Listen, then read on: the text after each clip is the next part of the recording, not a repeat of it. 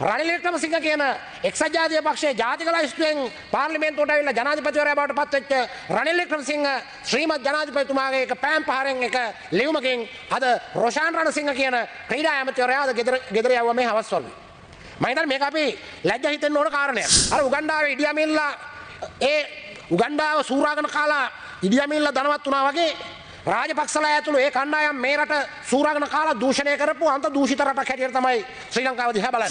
රාජපක්ෂලා වෙනුවෙන් කඩේ ගිය රොෂාන් රණසිංහට මේ පැත්තකට වෙලා හිටපු ජනතාව ප්‍රතික්ෂේප කරපු රනිල් වික්‍රමසිංහ මහත්තයා ගහනකොට අර සාගල රත්නායක මහත්තයාගේ බලය පෙන්නකොට ශමි සිල්වලාගේ බලය පෙන්නකොට රනිල් වික්‍රමසිංහ ජනාධිපතිවරයාගේ කොන්ද පෙන්නකොට රොෂාන් රණසිංහව බේරගන්න අද මේ පාර්ලිමේන්තුව තුළවත් මේ රටේවත් රාජපක්ෂලත් නෑ කියන කාරණය තමයි මෙතනින් ඔප්පු වෙන්නේ.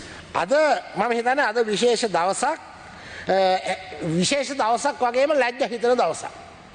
මොකද ජනාධිපති වරයාගේ රනිල් වික්‍රමසිංහ ජනාධිපති තුමාගේ කොන්දේ තියෙන හයිය පෙන්නපු දවසක් හැටියට තමයි අද වාර්තා වෙන්නේ.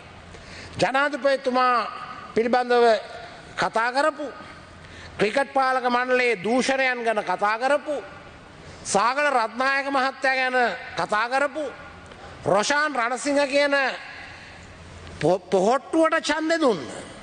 පොළොන්නරුවේ පොහොට්ටුවට ඡන්දෙ දුන්න පොදු පෙරමුණට ඡන්දෙ දුන්න ඒ ජනතාවගේ ආශිර්වාදයෙන් පාර්ලිමේන්තුවට ආපු රොෂාන් රණසිංහ කැබිනට් ඇමතිවරයා.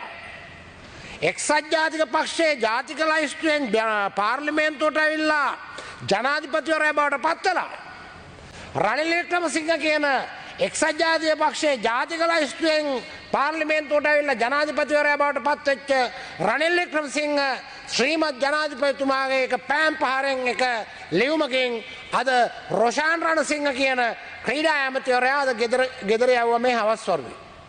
මම හිතන්නේ මේක අපි ලැජ්ජ හිතෙන්න ඕන කාරණයක්. මොකද දැන් අද මුළු රටේම තියෙන්නේ මේ රට දූෂිතයි මේ රට මේ රටේ වැඩිතුර පුරමඉන්න පගාකාරයෝ අල්ලස්කාරයෝ මේ ආර්ථිකය විනාශ කලා මේ පාර්ලිමේන්තුවේ ඉන්න දේශපාලකව මේ ආර්ථිකය විනාශ කලා හොරකං කලා බංකොලොත් කලා එම දෙයක් තම අද මේ මුළු රටේම තියෙන්.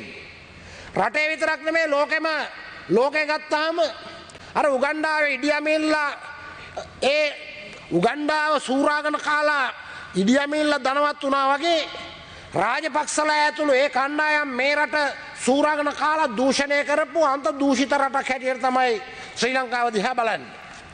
රනිල් වික්‍රමසිංහ ජනාධිපතිතුමා ලෝකෙට ගිහිල්ලා කියන්නේ. ශ්‍රී ලංකාව දූෂිත රටක් මම ආවේ ඒ දූෂණයන් නැති කරන්න ඒ දූෂණයන් නවත්තන්න වර්ධනය කරන්න. ගරු මන්ත්‍රීතුමා ඔබට තුමාට තව විනාඩි දෙකක කාලයක් තියෙනවා. එම ජනාධිපතිතුමා ලෝකෙට ගිහිල්ලා කියන්නේත් මේ දූෂණයට විරුද්ධව මම වැටබඳිනවා දූෂණය කරන්න ඉඩ දෙන්නේ නැහැ. මම සම්පූර්ණයෙන් මේ දූෂණයට විරුද්ධයි කියලා තමයි ජනාධිපතිතුමා ලෝකයට ගිහිල්ලා කියන්නේ. ලෝකයට ගිහිල්ලා කියනවා විතරක් නෙවෙයි මේ පාර්ලිමේන්තුවේ අනපනත් කියනවා දූෂණ විරෝධී පනත සම්පූර්ණයෙන් දූෂණයට මීට පස්සේ අපි ඉඩ තියන්නේ නැහැ. වැටබඳිනෝ එහෙම තමයි ජනාධිපතිතුමා ලෝකෙට ගිහිල්ලා කියන්නේත් අපේ රටේ කියන්නේත් පාර්ලිමේන්තුවේ අනපනත් දෙන්නේ.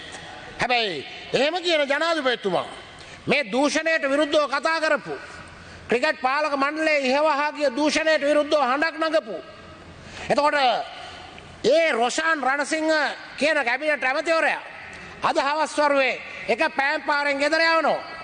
ඉතින් මම හිතන්නේ මේක අපි ආඩම්බර වෙන්න ඕන කතාවක්වත් ධන රනිල් වික්‍රමසිංහ මහත්තයාගේ කොන්ද පෙන්නපු එක ගැන අපිටි ගහන්න ඕන කතාවක්වත් නෙවෙයි.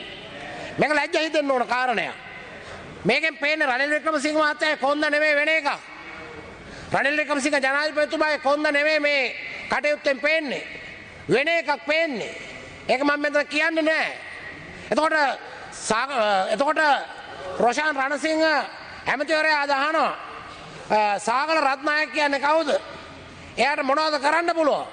ඒ නිසා මම කියනවා රොෂාන් රණසිංහ ඇමතිතුමෝ තමුන්නාන්සේ ආණ්ඩු පක්ෂය වෙනුවෙන් බොහොම බරපතල විදියට කඩේ ගිය ඇමති කෙනෙක්. ඔය පොළොන්නරුවේ මිනිස්සු තමුන්නාන්සේට ඡන්ද දුන්නේ රනිල් වික්‍රමසිංහ මහත්තයාව එපා කියලා තමයි තමුන්නාන්සේට ඡන්ද දුන්නේ. ඔය පොළොන්නරුවේ මිනිස්සු රාජපක්ෂලා වෙනුවෙන් තමයි ඡන්ද දුන්නේ.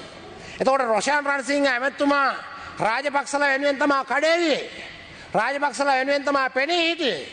ඕන දැන් රොෂාන් රණසිංහ ඇමතිට පයින් ගහනකොට දොට්ට දානකොට. රොෂාන් රණසිංහව බේරගණ්ඩ අද රාජපක්ෂල නෑ. රොෂාන් රණසිංහ ඇමතිවරයා නාමල් රාජපක්ෂ මන්ත්‍රීවරයා මන්ත්‍රීවරයත් මෙම කිව්වා රනිල් වික්‍රමසිංහ කියලා කියන සර්පයෙක් බලාගනයි කියලා නාමල් රාජපක්ෂ රොෂාන් රණසිංහත් එක කියපු කතාවක් කියනකොට නාමල් රාජපක්ෂ නැගිටලා නෑ නෑ නෑ නෑ මම එහෙම දෙයක් කිව්වේ නෑ කියලා නාමල් රාජපක්ෂත් රොෂාන් රණසිංහව මගාරිනවා. එතකොට රාජපක්ෂල වෙනුවෙන් කඩේ ගිය රොෂාන් රණසිංහට මේ පැත්තකට වෙලා හිටපු ජනතාව ප්‍රතික්ෂේප කරපු රනිල් වික්‍රමසිංහ මහත්තයා ගහනකොට අර සාගල රත්නායක මහත්තයාගේ බලය පෙන්නනකොට ශම්මි සිල්වලගේ බලය පෙන්නනකොට රනිල් වික්‍රමසිංහ ජනාධිපතිවරයාගේ කොන්ද පෙන්නනකොට රොෂාන් රණසිංහව බේරගණ්ඩ අද පා- මේ පාර්ලිමේන්තුව තුළවත් මේ රටේවත් රාජපක්ෂලත් නෑ කියන කාරණය තමයි මෙතනින් ඔප්පුවෙන්නේ. එනිසා අපි කියනවා මේ රටේ රොෂාන් රණසිංහලට විතරක් නෙවෙයි. මේ රටේ ඉන්න සමස්ත ජනතාවට ඒ හැට නමලක්ෂය ජනතාවට ඒ ජනතාවගේ දැවෙන කුසගින්න පීඩනය දරිද්‍රතාවය විරකයාව නැතිබැරිගම ඉහවහාගේ ජීවන වියදම මේ කිසිම දෙයක් බේරගන්න රාජපක්ෂලායන්නේ නෑ.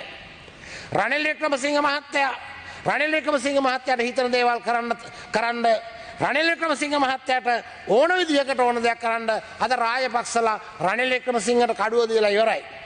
කඩුව දුන්නේ මනමේ කුමාරයාට නෙමෙයි. ඉක්මනට නිමා කරන්න. කඩුව දුන්නේ වැදි වැදි රජ්ජුරුවන්ට කඩුව දුන්නේ. දැන් අද ජනතාව ඒ හැට නම ලක්ෂ එකතු වෙලා දුන්න කඩුව දැන් අද වනනේ රනිල් වික්‍රමසිංහ ජනාධිපතිවරයා. ඒ කඩුව වඩනකොට ඒ හැට නම ලක්ෂයක් වනුවෙන් කඩේ ගිය රොෂාන් රණ සිංහලාගේ බෙලි කපනකොට රොෂාන් රණ සිංහලාගේ තතපය කපනකොට කැබිනට ඇමතිකන් ගලවනකොට රාජපක්ෂල නිහඬයි නාම රාජපක්ෂලා බොහෝම බයදුව සෝච කීකරු ගෝලයෝගේ නෑනෑ මම නං එහෙම කියවන ම නං එහෙම කියවන මොන තරන් නිවටකම ගරු මන්ත්‍රීතුමා, ඔබතුමාගේ කාලය- ඔවු කාලය ඉවරයි. කාලේ මගේ වගේම. මගේ වගේම කාලය මේ කතා පවත්තන්න මගේ කාලය ඉවරෙනවා වගේම රනිල් වික්‍රමසිංහ මහත්තයාගේ ඇතුළු රාජපක්ෂලාගේ කාලයත් ඉවර වෙලා තියෙන බව ප්‍රකාශ කරමින් මගේ වචන ස්වල්පය අවසන් කරනවා. බොහොම ස්තුතියි